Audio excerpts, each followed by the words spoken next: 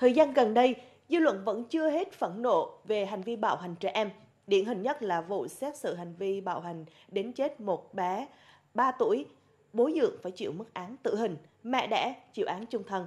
Và giờ thêm một vụ bạo hành trẻ em một cách rất tàn nhẫn được đưa ra ánh sáng. Dao, chày, băng chải sắt Hãy thử tưởng tượng là dùng một bàn chải sắt để cao lên người thì ai có thể chịu nổi. Nhưng đó lại là sự chịu đựng của một cậu bé chưa tròn 15 tuổi quê ở Quảng Ngãi ra làm thuê cho quán bánh xèo tại xã Yên Trung của huyện Yên Phong, tỉnh Bắc Ninh. Và chủ quán là Nguyễn Thị Anh Tuyết, 34 tuổi, người cùng quê Quảng Ngãi.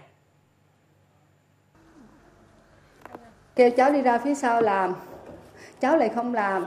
Cháu chống đối lại, cháu nói là cô chú nói là mấy giờ đến khi nào xong việc thì thôi em mới nói là làm lẹ lên xong rồi cháu cứ giận vậy.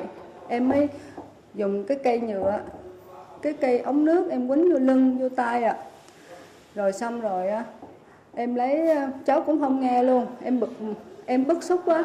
Em mới vào trong em lấy cái chày đâm tiêu. Em mới kêu nè muốn đau không nè? Cô đánh cho mày nhớ nè.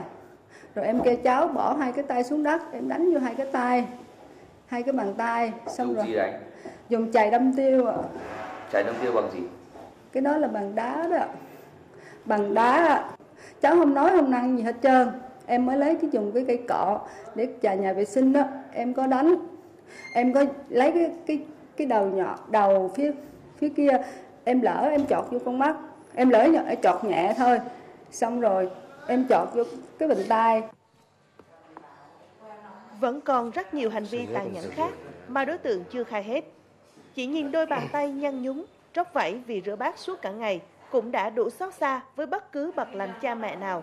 Chứ chưa nói đến còn thường xuyên bị chủ quán bắt xòe cả 10 đầu ngón tay và ngón chân rồi dùng chày đập đánh, sưng húp, thâm tím.